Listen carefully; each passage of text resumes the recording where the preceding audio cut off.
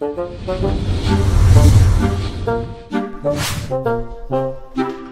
you.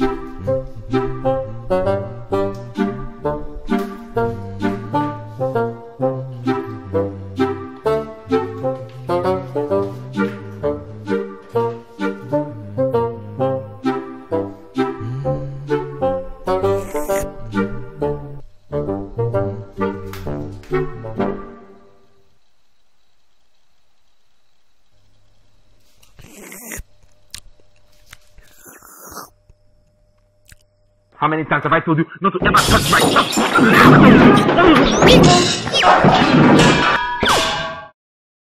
I want to thank you both for taking out the time to be here. Thank you for having us. Mm. So, uh, Josh, tell me what's the problem. Well, I can't take it anymore. I just can't. I can't. I can't. Well, then let's start from the beginning. Okay. A few months ago, he came to my house saying he had nowhere else to stay. I took him in because, I mean, he's a good guy, a friend, and a brother.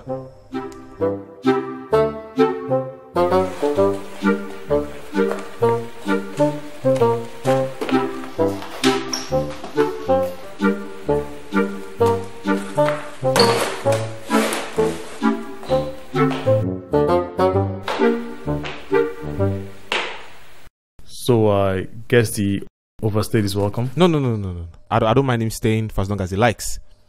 I mean, I told him he could stay for as long as he likes. In fact, I love the idea of a friend around to talk with, to work with, to help out with stuff.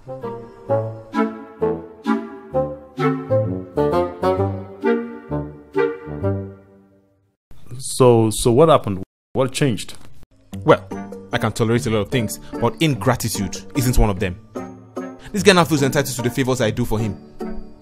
I pay for food and he eats, and that's not a problem. I pay for the air conditioning, the water, the lights, and electricity bills, and he uses them. But that's not even the problem. In fact, I like it when he uses them. But a simple thank you, a simple thank you, I don't get. Or when was the last time you thanked me? Eh? Answer me! You hear that? I see. And now he complains. Can you believe that? He actually complains.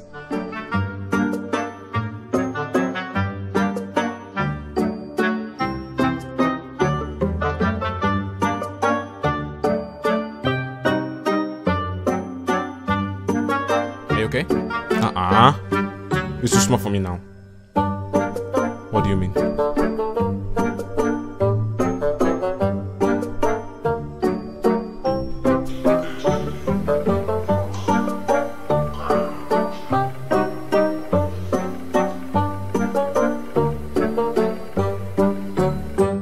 And then now he has even graduated into taking what doesn't belong to him because he's not satisfied. I mean, what kind of what kind of ingratitude is that? I mean, I should have smacked you more than I did.